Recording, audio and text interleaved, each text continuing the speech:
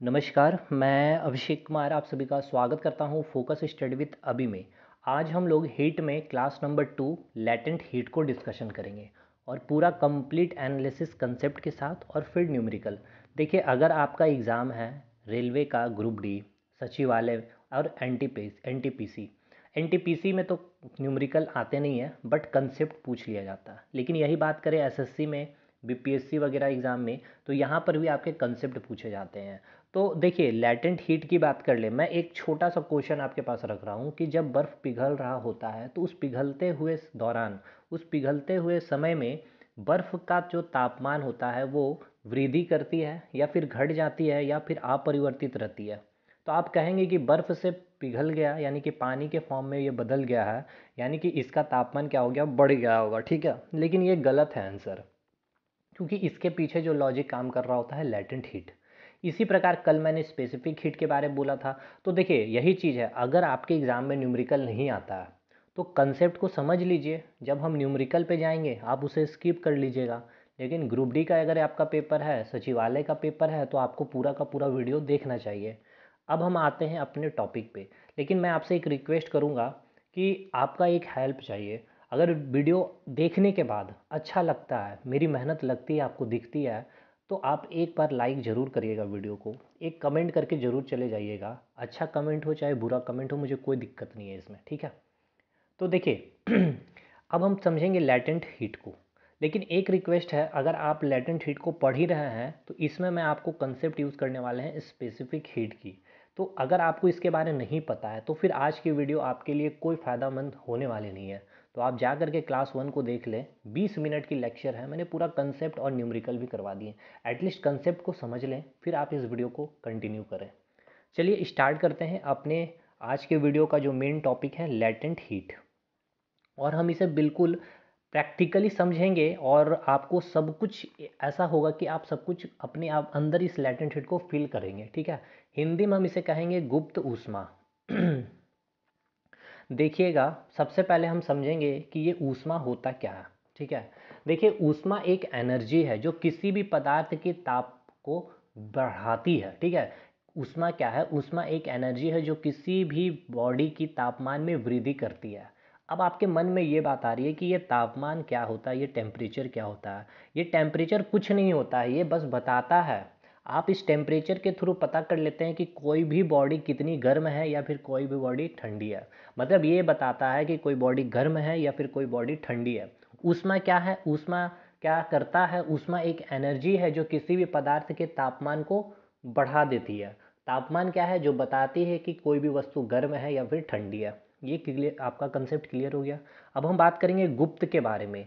ये गुप्त का अर्थ समझ रहे हैं, छुपी हुई। अब क्या छुपी हुई? तो मैं बात कर रहा हूँ ऊष्मा की। यानी कि वो छुपी हुई ऊष्मा वो छुपी हुई ऊष्मा की बात की जा रही है और ये छुपी हुई ऊष्मा को हम क्या कहते हैं? लैटेंट हीट कहते हैं और गुप्त ऊष्मा कहते हैं।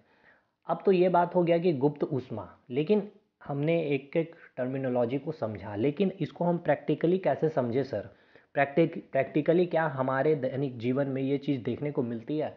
और हम इसे समझना और अच्छे से चाहते हैं। चलिए हम आपको एक एग्ज़ाम्पल देते हैं। और इस एग्ज़ाम्पल के बाद आपको पूरा लेटेंट हिट क्लियर हो जाएगा। और जितने भी क्वेश्चन बनेंगे, इसमें ही पूरा का पूरा मैं आपको समझा भी दूँगा। देखिए, एक बर्फ़ का टुकड़ा आप लीजिएगा, ठीक है? और एक कटोरी में आप इसे रखेंगे और आप इसे चूल्हा में चढ़ा देंगे। लेकिन अभी आप गैस को ऑन नहीं करेंगे, ठीक? अभी देखिए, मैंने नीचे कहीं भी आग नहीं जलाया। बस कटोरी में मैंने बर्फ़ रखा है और आप लाएँ थर्मामीटर और इस थर्मामीटर से इसका तापमान मेज़रमेंट किए। आपने जब मेज़रमेंट किया तो आपको ये टेम्परेचर जो रीडिंग देखने को मिला, ये देखने को मिला ज़ीरो डिग्री सेल्सियस अब आपने क्या किया? गैस के चूल्हे को ऑन किया, यानी कि आपने क्या कर दिया? हीट दिया. हीट देने के बाद आप एक मिनट के बाद, ठीक है, एक मिनट डेढ़ मिनट दो मिनट के बाद आपने फिर से टेम्परेचर में रीडिंग लिया तो आपको क्या देखने को मिला? तापमान फिर से टेम्परेचर जो दिखा रहा है, वो थर्मामीटर ज़ीरो डिग्री सेल्सियस ही दिखा रहा है. और आप हीट दिए जा रहे हैं गैस का चूल्हा ऑन है.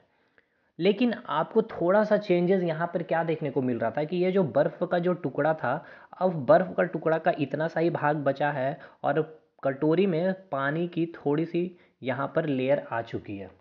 दो मिनट के बाद आपने क्या देखा कि जब थर्मामीटर आप ले गए, फिर से आपने मेज़रमेंट देखा तो बर्फ़ जो है, अब बर्फ़ का केवल इतना सा ही भाग बचा था, एकदम छोटा सा भाग बचा था और जब आपने टेम्परेचर को रीडिंग किया थर्मामीटर से तो फिर आपको ये टेम्परेचर बता रहा था ज़ीरो डिग्री सेल्सियस ही और ऑलमोस्ट जो है, कटोरी का आधा पार्ट पानी से भर चुका था।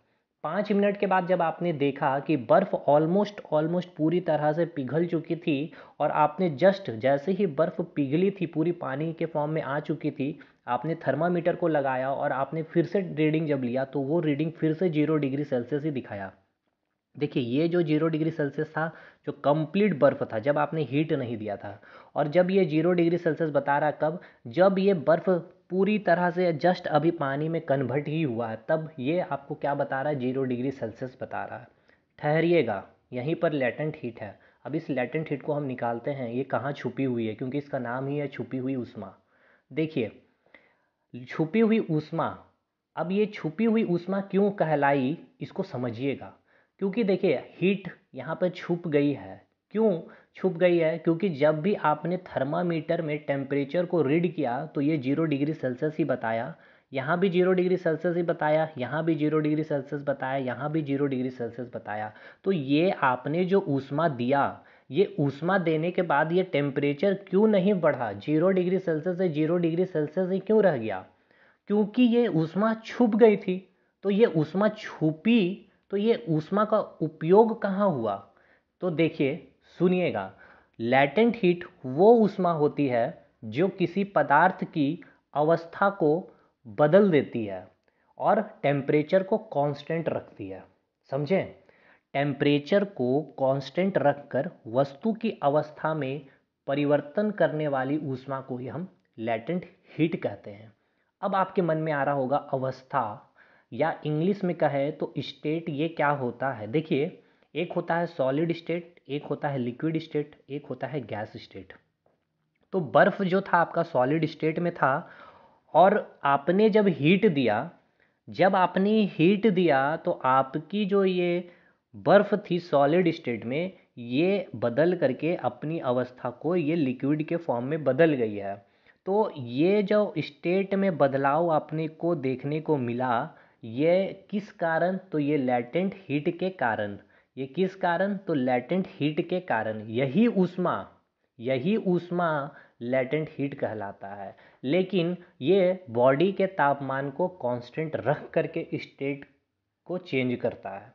अब कहेंगे कि, सर, मुझे तो दिख गया, ये सॉलिड स्टेट में था। और ये अब जो बर्फ़ था, एक सॉलिड फॉर्म में था और पानी में जैसे बदला तो लिक्विड फॉर्म ये तो मुझे दिख गया तो फिर ये गुप्त कैसे हो गई है उष्मा? चलिए, मुझे पहले नहीं पता था कि लैटेंट हीट का कंसेप्ट ये होता है कि कोई भी पदार्थ की अवस्था में परिवर्तन होना। लेकिन मैंने एक वर्ड आपको बोला था कि टेम्परेचर को कांस्टेंट रख करके। अब आपको ऊष्मा कैसे दिखाई देता है? जब आप बॉडी को हीट देते हैं तो बॉडी का तापमान जब 10 डिग्री सेल्सियस था ठीक है, आपने रीडिंग लिया था और आपने जैसे हीट दिया, उष्मा दिया तो बॉडी का तापमान 15 डिग्री सेल्सियस हो गया उस थर्मामीटर में। तो आपको वो उष्मा दिख गई ना 10 से 15 वो टेम्परेचर को दिखा दिया, वो थर्मामीटर तो वो थर्मामीटर के द्वारा आपने उस उष्मा को देख लिया। लेकिन यहाँ पर आपको zero degree Celsius zero degree Celsius zero degree Celsius zero degree Celsius वो थर्मामीटर नहीं दिखाया इस उष्मा को। इसीलिए आपने उष्मा तो दिया लेकिन ये टेम्परेचर देखिए कांस्टेंट रह गया, वो थर्मामीटर नहीं दिखा पाया, लेकिन ये ऊष्मा क्या कर दिया? उसकी स्टेट को चेंज कर दिया। बस, पूरा ख़त्म हो गया है लेटेंट हीट अब। लेटेंट हीट क्या होता है? बस ध्यान से सुनिएगा। टेम्परेचर कांस्टेंट रख करके, ठीक है? टेम्परेचर कांस्टेंट रख करके ये क्या करती है? ये क्या करती है? किसी भी पदार्थ की स्टेट को, ठीक है? किसी भी पदार्थ की स्टेट को क्या करती है? चेंज कर देती है। या तो सॉलिड को लिक्विड में कन्वर्ट करेगी, या फिर सॉलिड को लिक्विड में, या फिर लिक्विड को गैस में कन्वर्ट करेगी। तो टेम्परेचर कांस्टेंट रखकर वस्तु की अवस्था में परिवर्तन करना ही हम क्या कहेंगे? लेटेंट हीट कहेंगे। यानी कि वो उष्मा जो किसी पदार्थ की अवस्था को बदल देती है without change in temperature temperature को कांस्टेंट रखकर टेम्परेचर को कांस्टेंट रखकर वस्तु की अवस्था को बदलने वाली वो उष्मा ही क्या कहलाती है? लेटेंट हीट कहलाती है। आई थिंक आपको ये चीज़ें क्लियर हो गई होगी। अभी आपको मैंने एक चीज़ ये बताया कि ज़ीरो डिग्री सेल्सियस में जब आपने हीट नहीं दिया था तो थर्मामीटर आपको क्या बताया था? बर्फ़ की ज़ीरो डिग्री सेल्सियस लेकिन ऑलमोस्ट जैसे ही पूरा का पूरा बर्फ़ पिघल कर पानी के फॉर्म में बदला ही था, तब आपने टेम्परेचर रीडिंग लिया तो वहाँ भी ज़ीरो डिग्री सेल्सियस दिखाया। कहने का मतलब ये है कि ज़ीरो डिग्री सेल्सियस में बर्फ़ भी है और ज़ीरो डिग्री सेल्सियस में पानी भी है। आपने घर में भी ऐसा देखा होगा, जब आपने बर्फ़ को डाला कटोरी में और गैस के चूल्हे में चढ़ाया तो ऑलमोस्ट जब तक पूरा बर्फ़ पिघल जाता है तो क्या पानी पूरा पिघला हुआ पानी सॉरी पिघला हुआ बर्फ़ जो पानी में बदल चुका था, क्या वो पानी गर्म हो जाता? नहीं, तुरंत नहीं होता। वो पानी उतना ही ठंड तब भी फील होता, क्योंकि उसका तापमान ज़ीरो डिग्री सेल्सियस रहता। अब जो आपने हीट दिया अब इसका टेम्परेचर इंक्रीज़ होगा एक डिग्री सेल्सियस दो डिग्री सेल्सियस तीन डिग्री सेल्सियस किसकी? पानी की। अब तापमान बढ़ती चली जाएगी। अब मुझे ये बताइए, एक डिग्री सेल्सियस किसी भी पदार्थ का एक डिग्री सेल्सियस तापमान में वृद्धि करने के लिए जो ऊष्मा की आवश्यकता होती है, उसे उस पदार्थ की क्या कहते हैं? विशिष्ट ऊष्मा, यानी कि स्पेसिफिक हीट कल हमने इसको पढ़ा था। फिर से देखिए, एक से दो डिग्री सेल्सियस हो गया, यानी एक डिग्री सेल्सियस ताप में वृद्धि हुआ। यानी कि किसी भी पदार्थ के ताप में अगर एक डिग्री सेल्सियस बदलनी है या एक डिग्री सेल्सियस इंक्रीज करनी है तो उसके लिए जितनी ऊष्मा की आवश्यकता होती है, हम उसे क्या कहते हैं? उस पदार्थ की विशिष्ट ऊष्मा कहते हैं या फिर स्पेसिफिक हीट कहते हैं। अब देखिए, यहाँ पे स्टेट चेंज नहीं हुआ, पानी का पानी ही है। अभी फिर तीन डिग्री सेल्सियस हो गया, तीन से फिर दस डिग्री सेल्सियस हो गया तो ये दस डिग्री सेल्सियस जो तापमान बता रहा है किसका? पानी का। तो ये पानी है, या स्टेट नहीं बदला, लेकिन टेम्परेचर चेंज हो रहा। तो इसे ही हमने कल क्या कहा था? स्पेसिफिक हीट कहा था। अब आप क्या दोनों चीज़ को डिफ्रेंशिएट कर पा रहे हैं? स्पेसिफिक हीट को और लेटेंट हीट को? देखिए लेटेंट हीट क्या हो गया? लेटेंट हीट का कंसेप्ट अब आप मुझे ये बताइए। लेटेंट हीट एक मैं यहाँ लिख दूँ लेटेंट हीट और एक मैं लिख दूँ स्पेसिफिक हीट अब मैं इसके बीच डिफ्रेंशिएट करना चाहूँ तो क्या आप कर सकते हैं? बिल्कुल कर सकते हैं। लेटेंट हीट वो उष्मा है जो किसी भी पदार्थ की अवस्था को चेंज कर देती है विदाउट चेंज इन टेम्परेचर यहाँ पर टेम्परेचर क्या होता है? कांस्टेंट होता है। स्पेसिफिक हीट क्या होता है? किसी पदार्थ की अवस्था को तो ये चेंज नहीं करता है, लेकिन उसके पदार्थ की, लेकिन उस पदार्थ के तापमान को क्या कर देता है? बदल देता है। उसके तापमान को क्या कर देती है? इंक्रीज कर देती है। ठीक है? ये हो गया कंप्लीट लेटेंट हीट का कंसेप्ट अब एक और मैं आपको कंसेप्ट दे दूँ यहीं पर, क्योंकि आपसे एक सवाल पूछा गया था एसएससी में कि जो जल की जो भाप, आपने देखा होगा ना, खाना बनाते समय भाप निकलता है, गर्म पानी चढ़ाते हो तो भाप निकलता है। तो घर में आपसे सवाल ये पूछा गया था कि जो भाप होती है तो सबसे अधिक जलन आपको किससे होगी? भाप से होगी या फिर गर्म पानी से होगी? तो आप क्या बोलेंगे? देखिए, अब यहाँ पर समझिएगा इस कंसेप्ट को। ये बर्फ़ था, ज़ीरो डिग्री सेल्सियस में और ये फिर अभी पिघल करके क्या बन गया है? पानी बन गया है। इसकी अभी तापमान कितनी है? ज़ीरो डिग्री सेल्सियस है। ठीक है? फिर आपने इसको हीट दिया। हीट देने के बाद ये ज़ीरो डिग्री से बढ़ते बढ़ते कहाँ चला जाएगा? सौ डिग्री सेल्सियस पे चला जाएगा। सौ डिग्री सेल्सियस पे चला जाएगा, ये अभी क्या है? पानी है। अब बताइए, ये सौ डिग्री सेल्सियस के बाद अगर आप इसको हीट दे रहे हैं, अगर आप इसको हीट दे रहे हैं तो 100 डिग्री सेल्सियस के बाद आपको पता है पानी का वाष्पीकरण होना फिर स्टार्ट हो जाता है। तो इस 100 डिग्री सेल्सियस के बाद आप जब भी हीट देंगे तो इस पानी का ताप आप जब मेज़रमेंट करेंगे तो 100 डिग्री सेल्सियस ही वो थर्मामीटर बताएगा। लेकिन अब जो है, ये ऊष्मा क्या कहलाने की कहलाएगी? ये गुप्त ऊष्मा कहलाएगी, क्योंकि ये ऊष्मा अब इसकी अवस्था को बदलना स्टार्ट कर देगी। यानी कि इस पानी को अब ये वाष्प में बदलना स्टार्ट कर देगी। समझे? क्या समझे? पहले ये बर्फ़ था। बर्फ़ से आपका क्या बदला? मैं आपको एक डायग्राम के थ्रू समझा दूँ। देखिए, ये क्या है? बर्फ़ है। ये आपका क्या हो गया? ये बर्फ़ से पानी है। ये ज़ीरो डिग्री सेल्सियस है। ये अभी ज़ीरो डिग्री सेल्सियस पे पानी है। ये अभी अभी पानी है, इसको आपने हीट दिया, अब इसका तापमान दस डिग्री सेल्सियस हो गया। ये भी अभी पानी है। यहाँ पे पानी का अभी तापमान सौ डिग्री सेल्सियस हो गया। ठीक है? अभी मुझे ये बताइए, ये ज़ीरो डिग्री सेल्सियस पे क्या है? बर्फ़ है। ये ज़ीरो डिग्री सेल्सियस पे क्या है? पानी है। तो देखिए, तापमान कांस्टेंट है। तापमान कांस्टेंट है। लेकिन स्टेट चेंज हो गया, यानी कि यहाँ पर कौन सी उष्मा होगी? लेटेंट हीट की कंसेप्ट यहाँ पर यूज़ होगी। अब यहाँ मुझे ये बताइए, ये क्या है आपका? पानी है और ये क्या है आपका? पानी है। लेकिन ज़ीरो डिग्री सेल्सियस ये था और ये दस डिग्री सेल्सियस हो गया, यानी कि यहाँ पर जो आपने उष्मा दिया इसको, पानी को, कौन सी उष्मा दिया? लेटेंट हीट नहीं। क्यों? क्योंकि ये भी पानी, ये भी पानी। स्टेट तो चेंज नहीं हुआ और टेम्परेचर चेंज हो गया। लेटेंट हीट का क्या अर्थ था? टेम्परेचर कांस्टेंट रखकर स्टेट में परिवर्तन करना। अवस्था में परिवर्तन करना। तो आप देख सकते हैं, पानी पानी, लेकिन तापमान चेंज यानी कि यहाँ स्पेसिफिक हीट फिर यहाँ आए तो यहाँ भी पानी था, यहाँ भी पानी था, लेकिन यहाँ 10 डिग्री सेल्सियस था, यहाँ तो 100 डिग्री सेल्सियस है भाई। तो टेम्परेचर चेंज हो गया है, अवस्था पानी ही है स्टेट पानी है। इसका मतलब यहाँ भी कौन सी उष्मा है? तो यहाँ भी हम कौन सी उष्मा दिए स्पेसिफिक हीट स्पेसिफिक हीट अब देखिए इस 100 डिग्री सेल्सियस के बाद आपने क्या देखा? जब आपको, आपने इसको हीट दिया। जब आपने इसको हीट दिया तो आपने देखा कि ये 100 डिग्री सेल्सियस, क्योंकि पानी 100 डिग्री सेल्सियस के बाद क्या करना, क्या करने लगता है? वाष्पीकरण इसकी स्टार्ट हो जाती है। तो ये पानी आपका वाष्प में बदलने स्टार्ट हो गया था। अब बताइए, इसका तापमान कितना दिखाएगा? 100 डिग्री सेल्सियस ही दिखाएगा। क्योंकि अब ये जो आपने ऊष्मा दिया था, ये ऊष्मा कहाँ लग रहा है? इसके स्टेट को चेंज में चेंज करने में लग रहा है। देख सकते हैं, पानी से ये क्या चीज़ में बदल गया है? वाष्प में बदल गया। लेकिन टेम्परेचर सौ का सौ ही दिख रहा है। लेकिन टेम्परेचर सौ का सौ ही दिख रहा है। तो ये समझ में आ गया, बर्फ़ बर्फ़ से पानी पानी से वाष्प। ये तीन सवाल सबसे टफ बनता है जब आपको तीनों पूछ लिया जाता है। लेकिन जनरली दो ही पूछेगा तो ईजी होगा। अब हम इसको आएँगे क्वेश्चन में तो आपको और ज़्यादा अच्छा लगेगा समझने में। सबसे पहले देखिए, जो सवाल पूछा जाता है, लेकिन हम अब आपको बता देते हैं, अब फॉर्मूला क्या होता है। देखिए, कल हमने देखा था Q equals to M C delta T जिसमें सी क्या होती है, आपकी स्पेसिफिक हीट होती है। सी क्या होती है, आपकी स्पेसिफिक हीट होती है। आज हमने बात किया लेटेंट हीट की, यानी कि Q equals to M L L क्या है आपका? लेटेंट हीट है। अब लेटेंट हीट का ये फार्मूला आप याद रखेंगे, ठीक है? अब लेटेंट हीट का अगर आपको ऐसा ही यूनिट पूछ लिया जाए तो लेटेंट हीट का ऐसा ही यूनिट क्या होगा? L equals to Q upon M यानी कि क्यू यानी कि हीट कैलोरी एम बोले तो ग्राम। ये कौन सी यूनिट है? सी जी एस यूनिट है।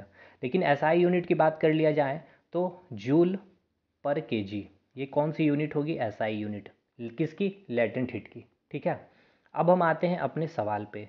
देखिए, पहला सवाल आपसे क्या पूछा गया है?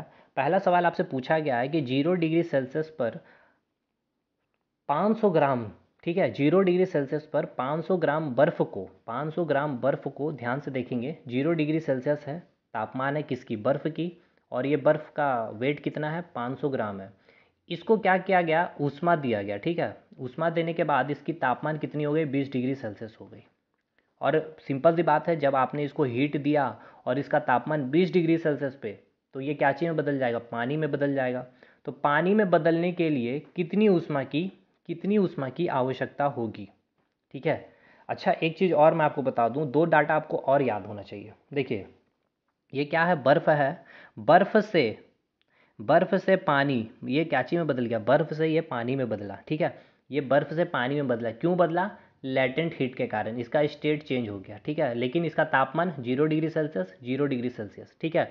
तो ये आप याद रखिएगा, बर्फ़ की जो गुप्त उष्मा है, यानी कि गलन, बर्फ़ के गलन करने की जो ऊष्मा, यानी कि लेटेंट हीट होती है, वो कितनी होती है वैल्यू आपको याद रखनी पड़ेगी।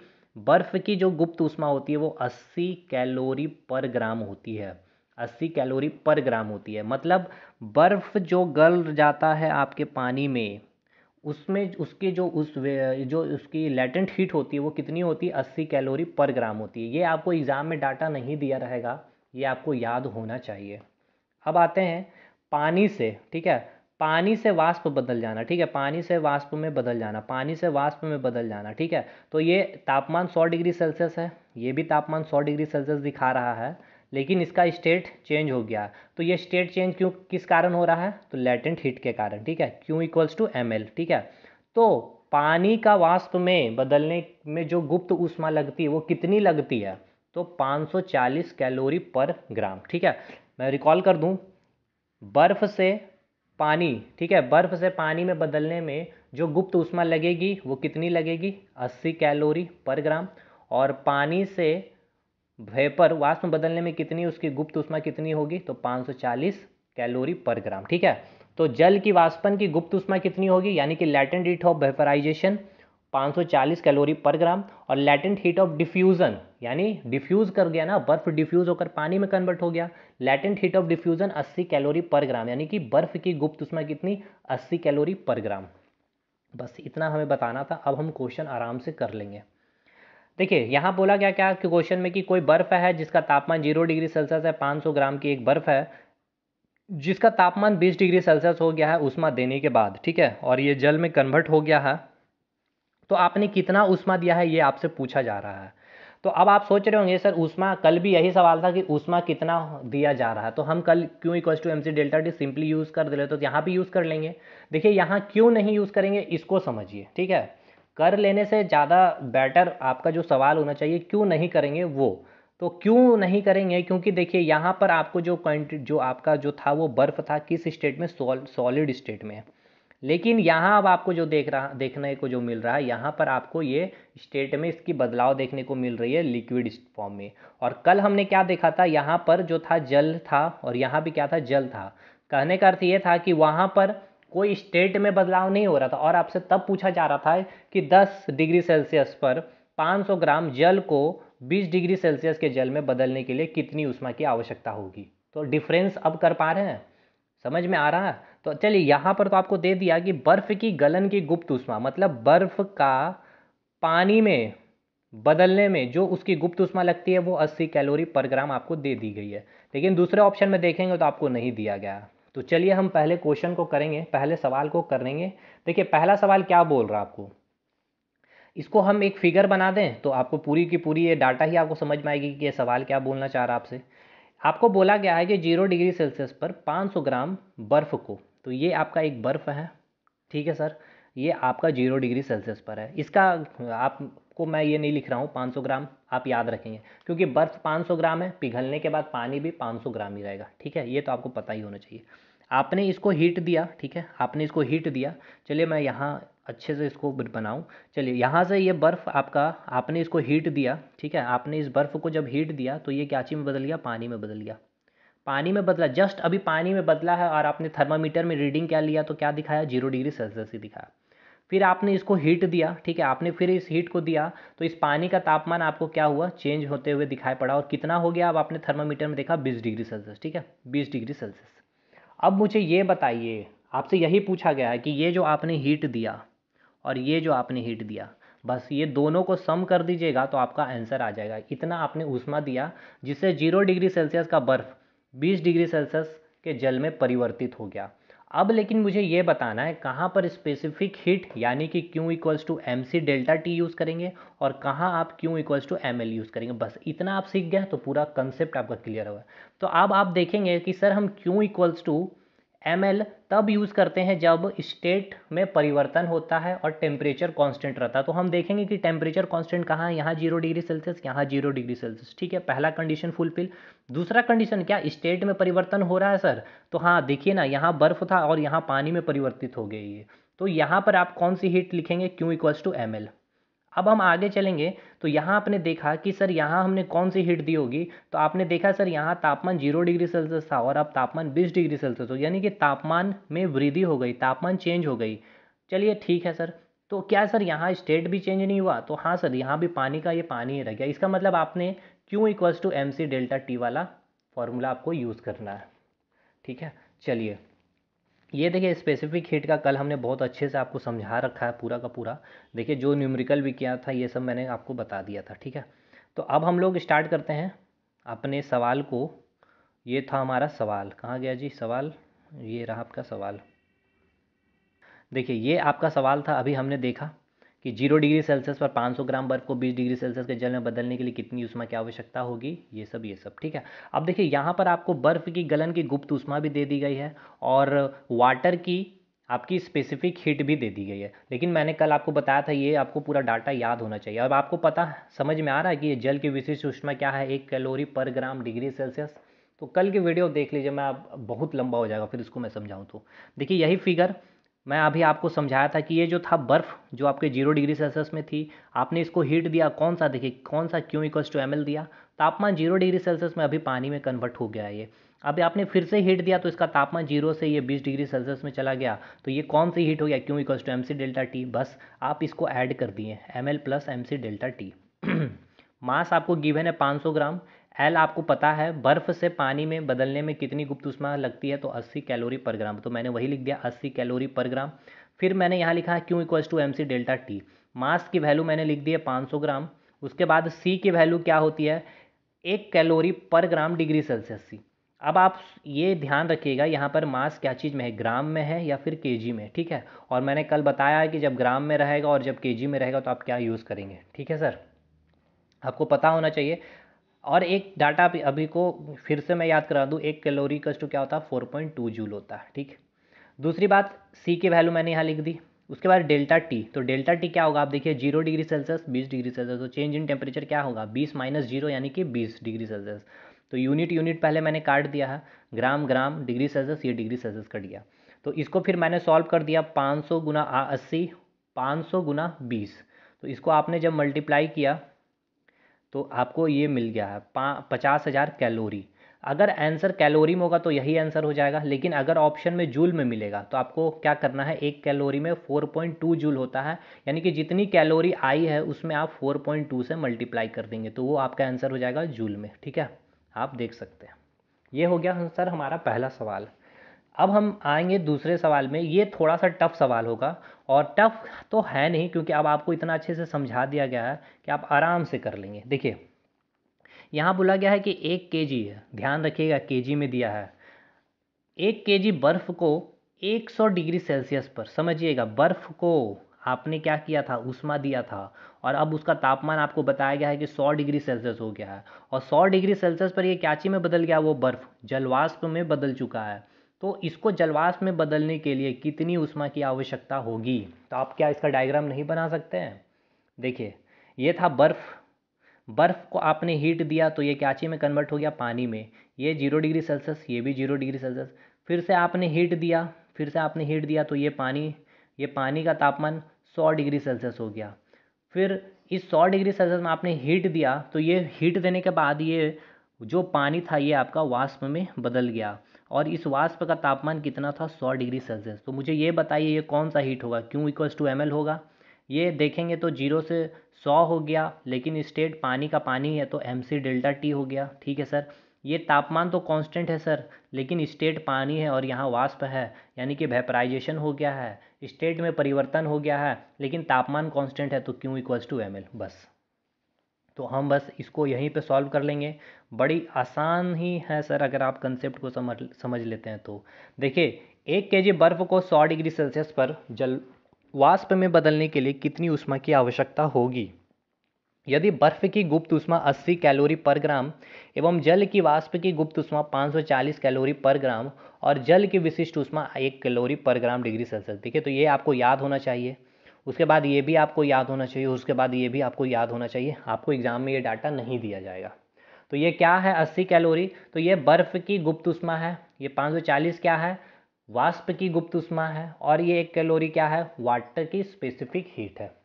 अब ये याद रखेंगे आप, एक कैलोरी पर ग्राम डिग्री सेल्सियस का, अब जब मास आपका ग्राम में है, ठीक है?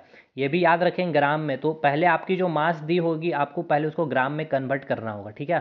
क्या चीज़ में कन्वर्ट करना होगा आपको ग्राम में? तो यहाँ आपको मास दिया है के में तो एक के में कितना ग्राम? एक हज़ार ग्राम। तो हम मास की वैल्यू क्या लेंगे? एक हज़ार ग्राम लेंगे, ये आप याद रखेंगे। तो बस कुछ नहीं किया मैंने, यहाँ पर देख सकते हैं। सिंपल सा है, बर्फ़ ज़ीरो डिग्री सेल्सियस पे था, इसको मैंने हीट दिया तो बर्फ़ से ये पानी बदला। तापमान zero degree Celsius, zero degree Celsius तो Q equals to M L latent heat का कॉन्सेप्ट फिर पानी से पानी ही है, तापमान में वृद्धि हो गया तो ये Q equals to M C delta T पानी से ये वाष्प में बदल गया। तो इसका तापमान कांस्टेंट है स्टेट में परिवर्तन तो Q equals to M L तो बस इस बार तीन हीट को हम ऐड कर देंगे तो हमारा आंसर आ जाएगा। तो बस वही मैंने यहाँ पर कर दिया है। देख सकते हैं M L M C del T ये जो आपका एल है, क्या चाहिए बर्फ़ का लेटेंट हीट आप लेंगे, यहाँ पर क्या लेंगे? वाष्प। ठीक है, जो पानी वाष्प में बदल गया और वाष्प में बदलने के दौरान उसमें को कितनी गुप्त उसमें की आवश्यकता हुई? 540 कैलोरी पर ग्राम तो यही चीज़ आप लिखेंगे मास की जगह 1000 ग्राम एल की वैल्यू लिख दिया 80 कैलोरी पर ग्राम फिर यहाँ एम का 1000 सी की वैल्यू एक कैलोरी पर ग्राम डेल्टा टी क्या है आपका? तो 100 डिग्री सेल्सियस हो जाएगा। 100 डिग्री सेल्सियस कैसे वो आप समझ रहे हैं? देखिए, ज़ीरो डिग्री सेल्सियस से सौ डिग्री सेल्सियस तो डिफरेंस लेंगे सौ माइनस ज़ीरो तो सौ, ठीक है? फिर एम एल तो यहाँ पर मास की वैल्यू एक हज़ार एल की वैल्यू क्या लेंगे? पाँच सौ चालीस कैलोरी पर ग्राम बस इसको सॉल्व कर दिए, सर, ये आपका आंसर आ जाएगा। और अगर जूल में पूछेगा तो आप क्या करेंगे? एक calorie equals to four point two joule. तो आप इसमें फोर पॉइंट टू से मल्टीप्लाई कर देंगे तो आपका आंसर आ जाएगा जूल में। बस। देखिए, इसके बाद भी अगर आपको कोई डाउट बच रहा है तो मुझे कमेंट करिए। मैं और अच्छे से इसको और भी बेहतरीन तरीके से मैं आपको समझा दूँगा। इसमें कोई दिक्कत वाली बात नहीं है मुझे। ठीक है? अब अगले वीडियो में हम टेम्परेचर स्केल को पूरा डिस्कशन कर देंगे। कैलविन, उसके बाद डिग्री सेल्सियस रोमर और फारेनहाइट में, ठीक है? यहाँ से भी अच्छे सवाल बनते हैं और यहाँ से तो आपके सब एग्ज़ाम में बनेंगे, जो कल की क्लास होगी। और उसके बाद आपकी एक और क्लास लूँगा, न्यूटन्स लॉ ऑफ़ कूलिंग की, ठीक है? वहाँ से भी आपके सवाल बनते हैं। वहाँ से न्यूमेरिकल नहीं बनेगा, वहाँ कंसेप्चुअल सवाल बनेगा, ठीक? तो मैं इसको इसी में करवा दूँगा। तो भाई, please please please please please support करें। अगर वीडियो अच्छा लगा हो तो चलिए हम मिलेंगे अगले वीडियो में। तब तक के लिए धन्यवाद।